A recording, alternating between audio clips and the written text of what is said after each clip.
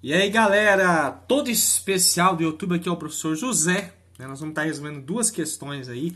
Esta questão aqui e uma outra de, de frações, galera, que é de primeira qualidade. Tá? Então não percam esse vídeo por nada, vão até o final dele, tá, gente?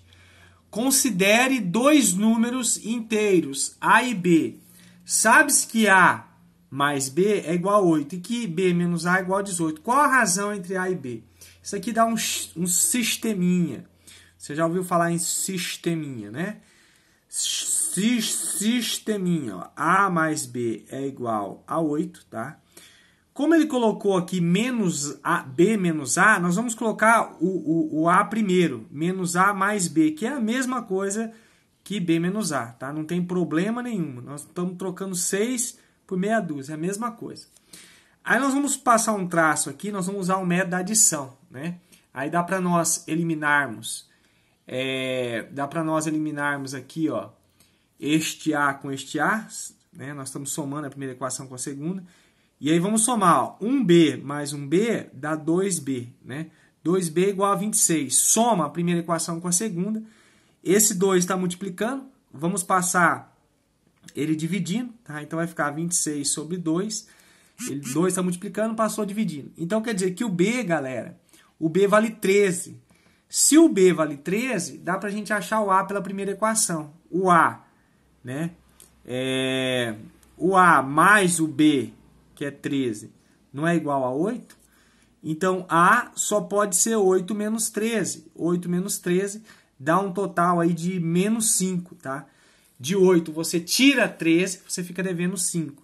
Quando fala de razão, é divisão. Né? Então, a razão de A para B é a divisão de A para B, ou seja, menos 5 sobre 13.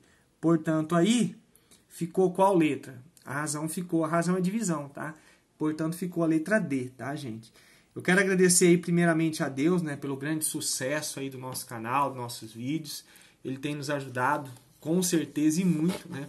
Quero agradecer a cada um de vocês também que fazem parte desse lindo projeto. E vamos aí para a segunda questão, tá? Quero pedir para vocês se inscrever lá no grupo do Facebook, nós temos um grupo lá, é só você ir lá em pesquisar, grupos pesquisar matemática boa. Pede para participar lá no nosso grupo. João colecionava discos é, vinil, mas resolveu fazer um bazar para tentar vendê-los. No primeiro dia do bazar, João vendeu quatro nonos. Galera, tudo começa, se ele vendeu 4 nonos, é porque a totalidade representa o número 1. Então, tem 9 sobre 9. Né? Se ele vendeu 4 nonos, é porque existia 9 nonos. Que 9 nonos, como é que você sabe que existia 9 nonos? Que 9 sobre 9 dá 1. A parte de baixo da fração tem que ser o número da parte de baixo do que ele vendeu aqui. Né? E a parte de, que é 9. E a parte de cima tem que ser igual à parte de, de baixo. Tá? Então vai sobrar 5 nonos. Tá? é, para o próximo dia. Aí ele está dizendo aqui, ó, já no segundo dia ele vendeu dois quintos do que havia sobrado. Não, havia, não sobrou cinco nonos, ó, esse aqui é o que sobrou, tá? É, da venda do primeiro dia. É, então nós vamos tirar dois quintos de cinco nonos. Para achar dois quintos e cinco nonos, é só multiplicar cinco nonos por dois quintos, tá? Aí, aí nós vamos eliminar, antes de multiplicar, pode eliminar esse 5 com esse que está um está em cima e está embaixo. Então, é, o que acontece? É, dois quintos de cinco nonos é dois nonos, tá? Então, sobrou dois nonos. Então, o que, que nós vamos fazer? Ele tinha um total é, de cinco nonos. Tá? Aí, no segundo dia, ele vendeu dois quintos desses cinco nonos, ou seja, ele vendeu dois nonos. Tá? Agora vamos saber quanto que sobrou para o terceiro dia. Ó, então sobrou aqui, é, sobrou aqui três nonos, tá? Três nonos. Ó, no terceiro dia, a venda foi de um sexto que havia restado. Restou quanto? Restou quanto para vender no terceiro dia? Restou três nonos no total.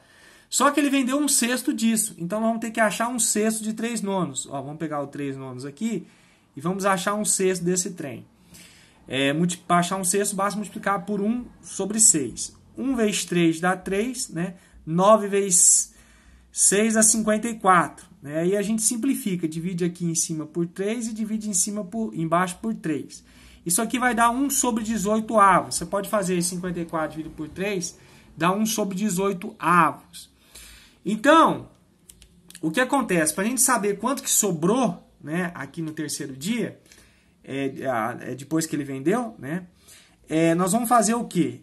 Tinha um total aí de 3 nonos. Né, tinha sobrado 3 nonos.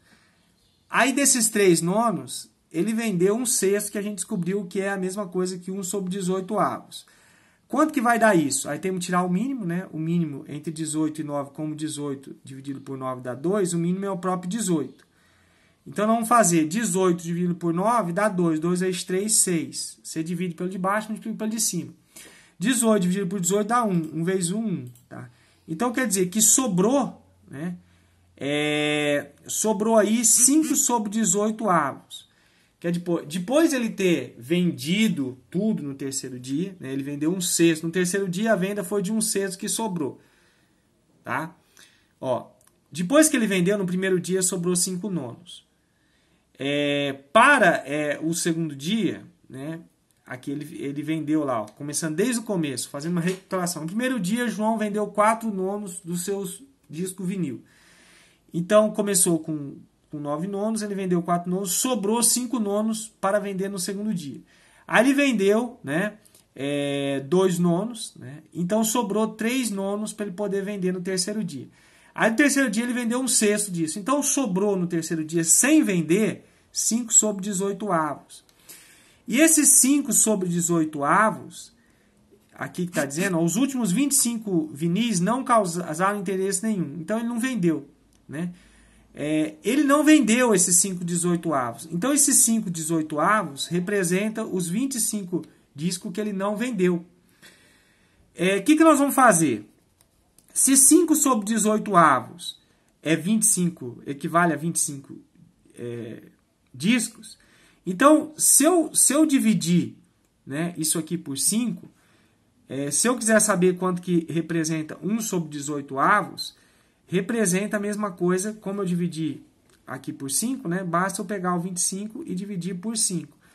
Então, 1 sobre 18 avos representa 5 discos vinis. Né?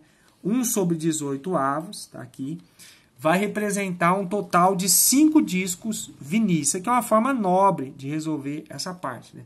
Você tem que entender o seguinte, que se 5 sobre 18, né? 5 partes de 18, 5 partes de 18 representa 25. Então, uma parte, basta, se eu sei que 5 partes representam 25, então uma parte desse 18 vai representar 5, certo? Se eu sei que uma parte de 18 representa 5, a totalidade é 18 de 18. Para a gente encerrar o problema, 18 de 18, né, o que nós vamos ter que fazer? É, basta a gente é, multiplicar esse 5 pelo 18. Se uma parte de 18 é 5, então 18 de 18 é 5 vezes 18. 5 vezes 0 é 0, 5, 5 vezes 8 é 40, vai 4. 5 vezes 1, 5, 1, 4, dá 9. Então dá um total aí de 90, tá? Gente, essa questão aqui é uma maneira muito interessante né, de responder. Aí é frações, uma maneira nobre de responder. É, vai vendo parte por parte, às vezes fica alguma coisa confusa, é normal ficar confuso. Eu quero que você comenta aí sobre isso, né? É, você também pode pedir nossa ajuda aí nos comentários, né? Para alguém, talvez, se a gente não puder também responder, né? Deixa o seu comentário aí, deixa o seu like, né?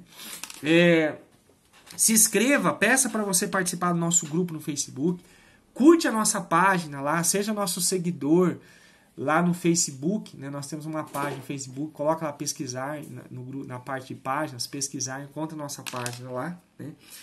É, nós vamos deixar uma mensagem aqui do Reino de Deus, nós fazemos sempre isso no nosso canal. Tá? É, olha só, o versículo aqui 79, tá? nós pegamos isso aqui já lá no JC na veia. Sabendo que a prova da vossa fé, olha só que, que bonito isso aqui sabendo que a prova da vossa fé produz paciência. Né? Então, é, quando a sua fé é provada, né? quando a sua fé ela é provada, isso vai produzir paciência. Por quê? Porque quando estamos numa prova, né, geralmente a prova ela demora um certo tempo para nós alcançarmos a vitória desta prova. E para alcançar a vitória, você vai ter que ter paciência, né? sabendo que a prova da vossa fé produz paciência. Então, quando você está numa prova, para você ser aprovado, você precisa de paciência. Né? E essa paciência ela é um dom que vem da parte de Deus. Né? Então, que nós possamos né, é, saber né, que ter paciência, né, porque talvez diante de uma situação ou outra nós estamos sendo provados, né, para sermos aprovados. Que Deus te abençoe em nome de Jesus.